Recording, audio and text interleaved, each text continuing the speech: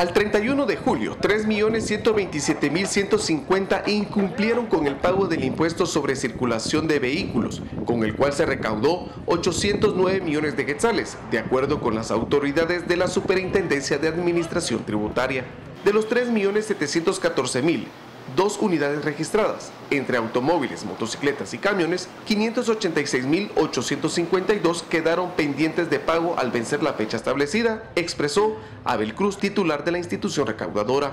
Quienes a partir del 1 de agosto no hicieron efectivo el pago, deberán pagar una multa tanto por multa, mora e intereses.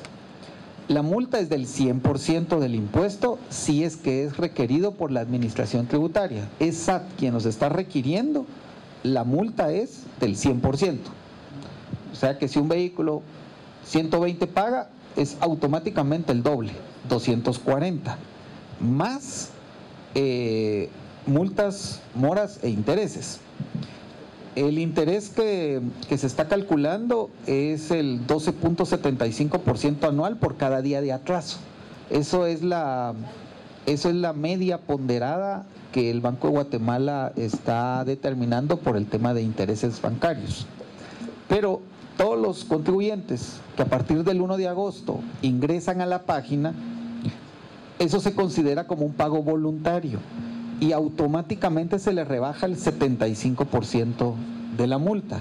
Es decir, que solamente tiene un incremento del 25%.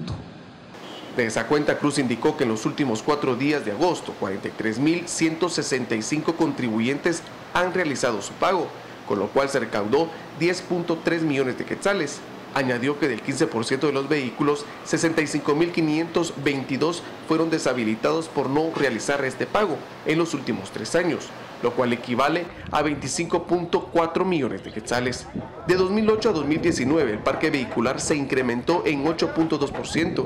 El año pasado se registraron en el país 3.471.810 automotores. Ahora hay 3.714.002, de los cuales el 52.06% son automóviles.